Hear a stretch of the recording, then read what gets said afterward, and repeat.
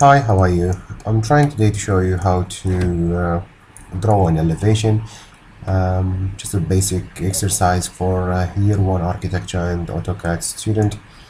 I previously drawn this section and uh, I'll continue to draw this elevation. I highly recommend for you to keep uh, a copy of your section aside during the process of drawing an elevation. Similar concept that we use in drawing a section when we had to cut the building, each line with a section line uh, that cut everything, walls and windows to be taken down. Except this time that you are not cutting anything, actually you are going to see things and that means you need only one line here for example if we intend to draw the south elevation for example take the lines vertically and then any line that define the edges have to be taken like this one this one. For example in here we have a line and then curve. So wait until you see the endpoint of the line and then take one and then here. A word of an advice here to take whatever you find a section or whatever section you find always keep it on the side actually. Uh, so you can take the lines from it. You don't need to redraw again things. So that's as you can see already give us the height of the roof. And again you can take this. Yeah. Straightforward process so easy actually. So from the section you take this line from the roof, the hidden line, or from the roof himself, here the parapet, you take the outer line and thus you have an actual you have an actual higher level or roof. And same thing here we get rid of this line extra lines that we have. And technically we done here. And again highly recommended for you to draw the exterior lines. I'm missing here some. Curve maybe I I have to fix that anyway. So it's a good idea to draw the outer line. Then you draw then you come and draw the doors and all that stuff.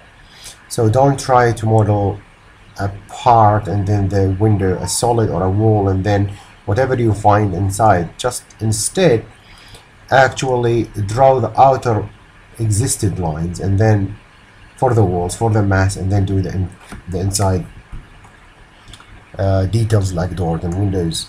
Just before we go we need to take another line here and same thing I almost forgot in here which is this. So I can just extend this one because that's a straight and then curve so don't forget to do the differences of masses in the higher levels not only on the ground floor.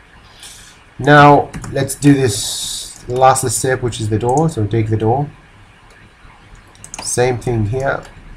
Again that's wrong. I need to fix but I'm too lazy to be to do that actually. I'll leave that for you.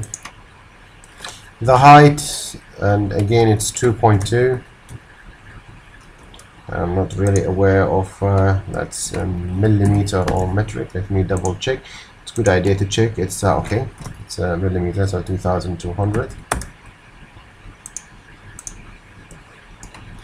technically it should be again it should be that aligned with the high level of the window.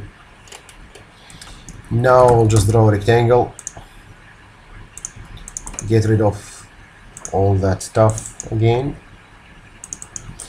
Alright and then you can offset that for example 0.05 oops again it's offset 50 sorry for that units. And split that into two. And I think we need to pixel that line x. We can extend that extend that and extend that and get rid of this. And get your door. Add a polyline to represent the moving parts of the door. It's an actual uh, representation or actually an actual indication that there's a hinge here and it's moving that one to, to the right side and this one to the left side I will leave the way of uh, adding layers and make that in the correct layer or like colors everything. I'll leave that for you. It's easy to be done just to understand the basics of how to draw an elevation. Thank you and have a nice night